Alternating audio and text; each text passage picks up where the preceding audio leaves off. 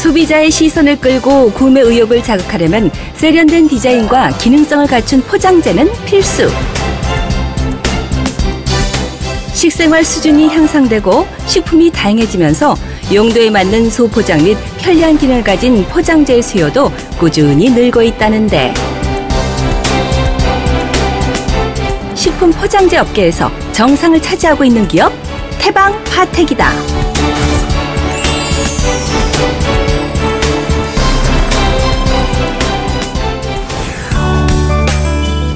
경기도 양주시 이것은 기업만의 고유 기술로 다양한 식품 포장재를 제조하는 곳이다.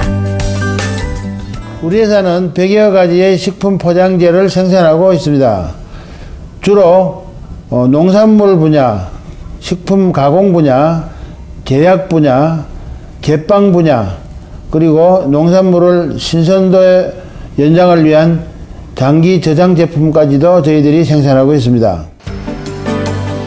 1998년 자본금 5천만 원으로 문을 연 태방파텍은 1999년 농산물 소포장용 숨쉬는 필름을 개발 후 제품화에 성공하면서 시장의 관심을 이끌어냈다.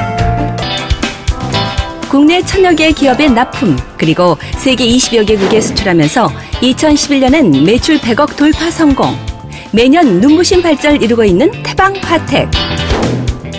모든 식품 포장재는 설계부터 디자인, 인쇄, 가공에 이르기까지 원스톱 방식으로 생산 중.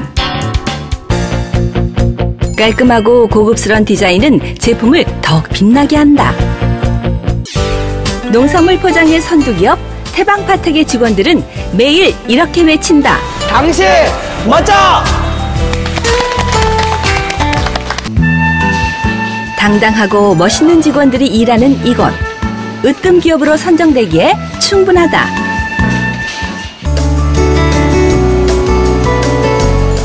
직원들이 즐겁게 일할 수 있는 분위기를 만들어야 회사가 성장할 수 있다는 걸 알기에 정 대표는 직원들의 복지를 든든히 후원해준다.